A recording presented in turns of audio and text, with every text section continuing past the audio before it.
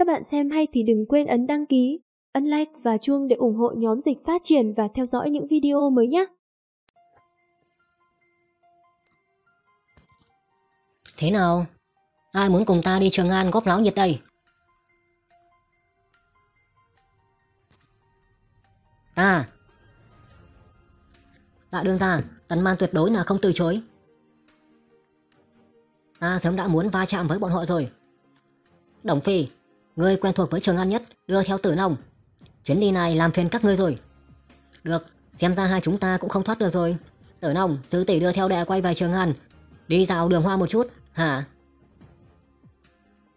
Phu quân, lần này nếu như chàng vẫn không đưa ta đi theo, vậy đợi chàng ra ngoài rồi.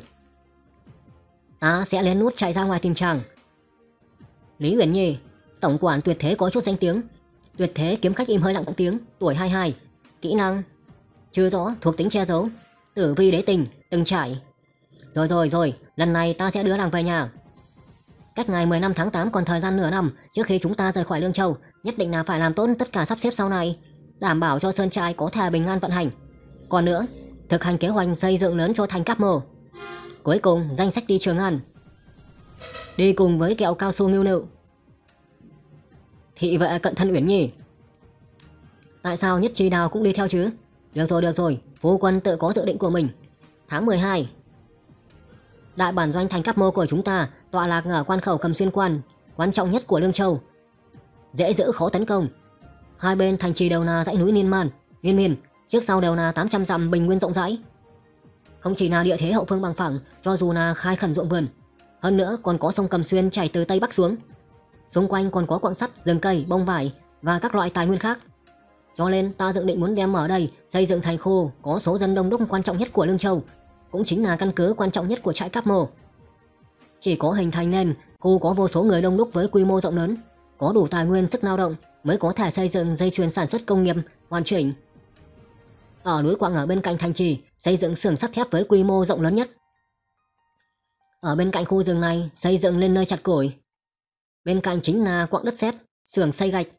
Ở đây xây, ở đây xây. Đương nhiên, kỵ binh cũng phải đảm bảo những khu vực khác của Lương Châu vẫn còn đang dưới sự khống chế của chúng ta.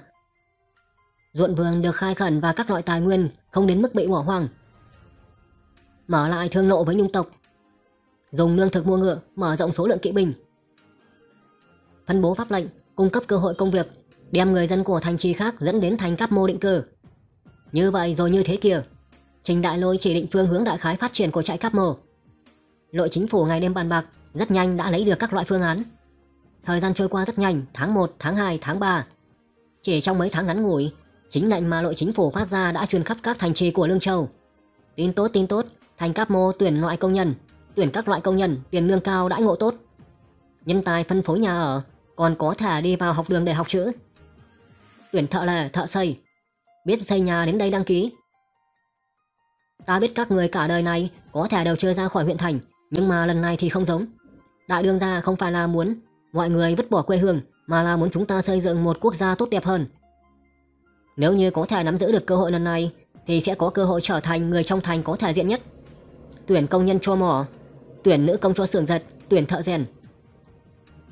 Quân đội trinh bình, quân đội trinh bình, không chỉ bao cơm còn có tiền lương. Là đàn ông thế nên lao vào chiến trường, tạo ra một thành tiệu công danh. Bái tướng phong hầu, cháo lúa mạch, bánh đường đây. Đây chính là chủ của Lương Châu. Một chính sách thì có thể để cho nhiều bách tính đến định cư. Một lời định được phú quý của người. Một mắt định được sống chết của người. Đây chính là sự mỹ diệu của quyền lực. Phía đông là xưởng sắt thép, phía tây là xưởng gạch ngói, xung quanh là khu nhà ở. Từng đợt người bắt đầu vào thành Cáp Mô, cập nhật tiến độ của nhiệm vụ chi tuyến, làm thế nào để lấy đường căn nhà rộng rãi ở khắp nơi ở trong thiên hạ này cho bọn họ vui vẻ. Nhà cửa gặp phải gió mưa cũng phải yên ổn giống như là núi. Lấy đường càng nhiều nông dân, danh tiếng của ký chủ được thăng cấp. Tăng nhanh số người đi vào. Tổng số người ở bên ngoài vào trong thành 50 vạn. Người ngoài hôm nay vào ở 413 người. Cách nhu cầu số người thăng cấp thành trì. Cấp 3 80 vạn. Đang còn thăng cấp thành trì cấp 3, tiến độ hiện tại 10%. Kế hoạch lần này, số người phải di chuyển vào, phải mấy năm nữa mới có thể triệt để hoàn thành. Đến lúc đó quy mô của thành cát Mô có lẽ là có thể đạt đến. Số lượng người ở và hàng trăm vạn, Sĩ binh đóng quân lại là trên 30 vạn. Một tòa thành lớn siêu cấp